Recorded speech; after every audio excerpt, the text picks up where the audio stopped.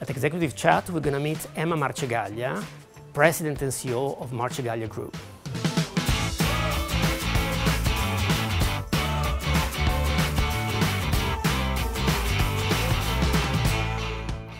Emma, welcome back to Bocconi. Thank you for the invitation. It's my honor to be here. So let me get started with a question on the fact that you are president and CEO of a 5 billion euro corporation, a multinational that has more than 6,000 employees.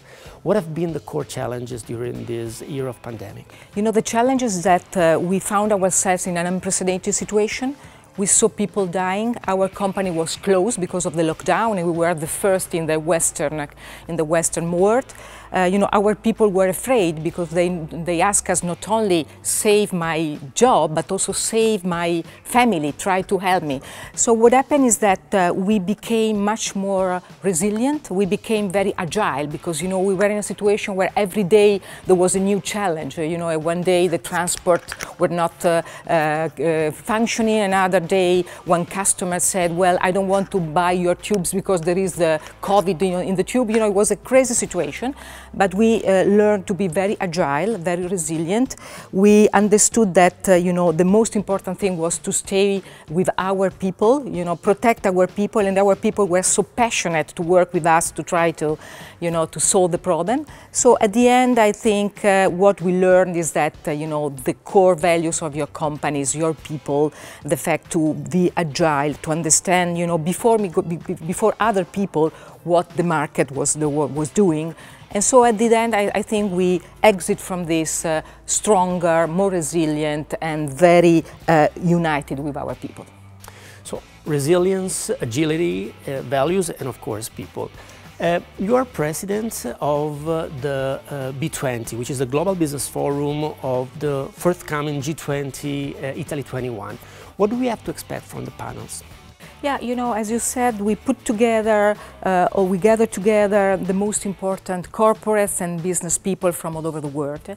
The idea that we want really to contribute uh, to going back to a recovery, a growth, which is different from the, from the past one. So more resilient, more sustainable, more inclusive, but also where competitiveness is at the core.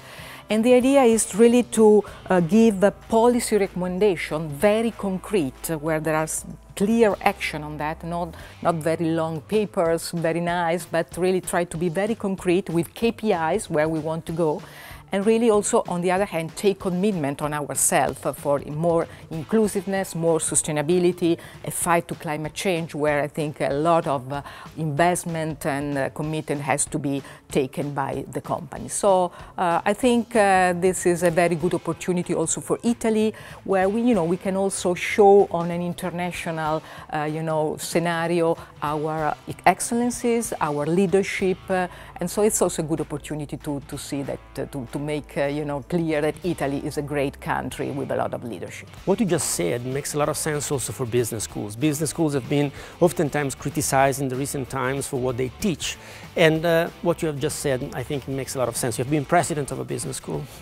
Yes, I think it's very important that we uh, uh, teach also to business people uh, that it's important, of course, to have a very competitive company because otherwise it's not possible to, to go on, but also that we have to take commitment on uh, inclusion. Social inclusion is key, on sustainability, you know, also, also from a climate change point of view, and we have to be part of it. We, we, we have to be part of how to solve the problems.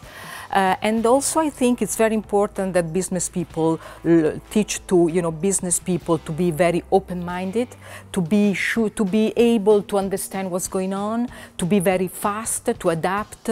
And so, you know, I think uncertainty was, you know, very clear the, during the pandemic, but in my opinion, we will have a lot of uncertainty also in the next year. So a very good business person has to be open-minded and understand how to face uh, different and difficult situation. You've had an impressive career, Emma, and by the way, you have been the youngest and first woman president of Confindustria, the Association of Manufacturing and Service Businesses in Italy. What are we still missing to close the gender gap? Well, I think, uh, first of all, you know, here we are in one of the most important universities in the world. I think education is still key we still have uh, not enough uh, educated uh, uh, women. I, I heard still, you know, women saying, uh, I'm not good in math, I'm not good in engineering. So I think education is still a very important point. The second is that probably we still need some laws to support women in their career and also in, the, in their being mother. Uh, and so this is also important, but probably the most important thing is leadership. I think uh, we should work on that. There are good role models. We should also try to, you know, to make a good mentoring. I would like really to, uh, you know, to help some younger women and say, if you have a dream, go on. Don't be shy. Don't, you know, you, you have to go on with your ideas and your dreams.